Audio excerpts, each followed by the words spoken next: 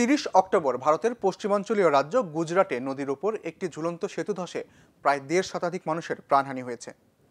সামাজিক যোগাযোগের মাধ্যমে ছড়িয়ে পড়া ভিডিওতে দেখা যায়, রাজ্যের মরবি শহরের মাতচু নদীতে আংশিকভাবে ডুবে থাকা ঝুলন্ত সেতুটিতে বেঁচে যাওয়া মানুষজন ঝুলে রয়েছে দেশটির বিভিন্ন গণমাধ্যম বলছে, মৃতদের বেশিরভাগই নারী ও শিশু।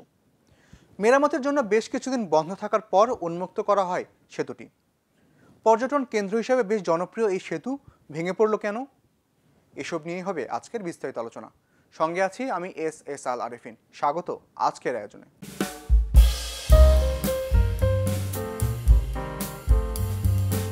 উনিশ শতকে ভারতের ব্রিটিশ শাসনের সময় মাতৃ নদীতে নির্মিত হয়েছিল তিরিশ অক্টোবর ধসে যাওয়া সেতুটি।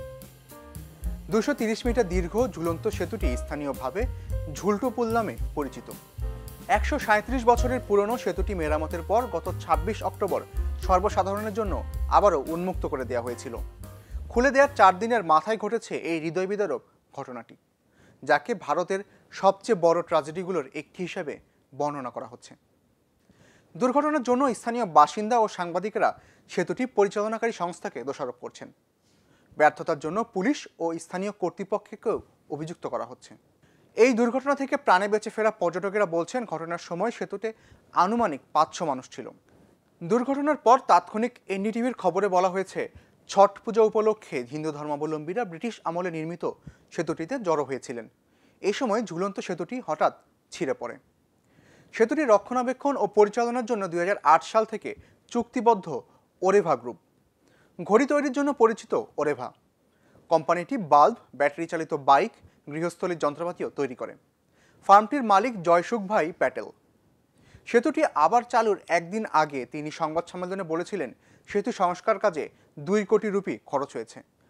টাইমস অফ ইন্ডিয়া জানিয়েছে, জয়সুখ সেই সংবাদ সম্মেলনে আরও বলেছিলেন, আগামী আট থেকে দশ বছরে সেতুটির কিছুই হবে না। যদি সেতুটি দায়িত্বশীলতার সঙ্গে ব্যবহার করা হয়, তাহলে পনেরো বছরের মধ্যে কোনো মেরামতের প্রয়োজন হবে না। সেতুটির মেরামত কাজের গুণমান, যন্ত্রপাতি ও ফার্মটি যে ঠিকাদার নিয়োগ করেছিলেন, তারও প্রশংসা করেছিলেন জয়সুখ।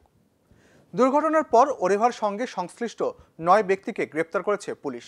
তাদের মধ্যে দুইজন ব্যবস্থাপক, দুজন টিকিট বিক্রেতা, দুজন ঠিকাদার ও তিনজন নিরাপত্তারক্ষী রয়েছেন।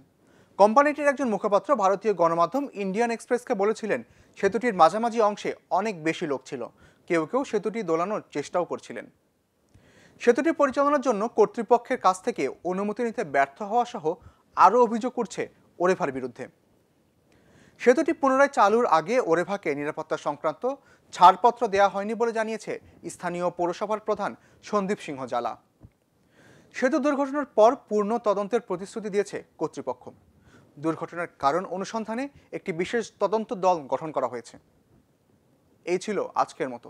আমাদের আয়োজন নিয়ে আপনারা মতামত জানাতে পারেন কমেন্ট করে। এছাড়া প্রতি মুহূর্তে সর্বশেষ খবর জানতে ভিজিট করুন প্রথম আলো ডট কম।